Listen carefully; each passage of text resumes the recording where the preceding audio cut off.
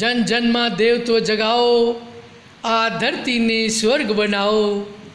પરમ પૂજ્ય પંડિત શ્રી રામ શર્મા આચાર્યજી યુગ નિર્માણ યોજનાનો ઉદ્દેશ્ય જાહેર કર્યો કે મારા પ્રત્યેક મનુષ્યને દેવતા અને ધરતીને સ્વર્ગ બનાવીએ. આજની વિષમ પરિસ્થિતિઓમાં આ સંકલ્પ પૂરો કરવા માટે આવો જ્ઞાનની અખંડ જ્યોતિ અવૃત ધારાઓથી વહેતી કરીએ.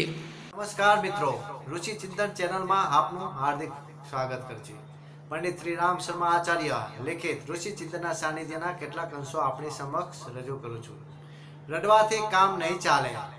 ઈશ્વરે મનુષ્યને સંપૂર્ણ યોગ્યતાઓ અને શક્તિઓ આપીને આ સંસારમાં મોકલ્યો છે. પરમાત્મા કદી એવું નથી ઈચ્છતા કે એમને એક પુત્ર સિંહાસન બેસે અને બીજો દરવાજે દરવાજે ઠોકરો ખાતા ફરે. પિતાને પોતાના બધા સંતાનો વાલા હોય છે. તે બધાને સુખી જોવા ઈચ્છે છે. જો તમે દુઃખી હો તો એમાં પરમાત્માનો દોષ નથી. પરંતુ તમે પોતે જ પોતાના પગ પર કુવાડા મારો છો.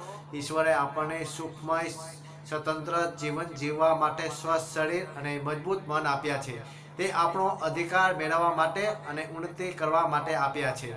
રડવા કે હાય હાય કરવા નથી આપ્યા. એ બંને વરદાન આપવાનું કારણ એ છે કે મનુષ્ય સુખમય જીવન જીવે. જેઓ પરમાત્માએ આપેલી શક્તિનો સદુપયોગ કરે છે, તેઓ સર્વ રીતે સુખી અને સંપન્ન હોય છે. પરંતુ જે લોકોએ શક્તિઓનો દુરુપયોગ કરે છે, એમને જીવનમાં દુઃખ ભોગવવું જ પડે છે. તેમને રોતા, કકડતા જિંદગી વિતાવવી પડે છે. પોતાની શક્તિઓને ઓળખો. દુનિયામાં એવી કોઈ તાકાત નથી કે જે તમને સુખ, શાંતિ અને સ્વતંત્રતાથી વંચિત કરી શકે. આજથી જ તમારી શક્તિઓનો સદુપયોગ કરવાનું શરૂ કરી દો. તમને પણ રાજ સિંહાસન પર બેસવાનો અધિકાર આપમેળે જ પ્રાપ્ત થશે.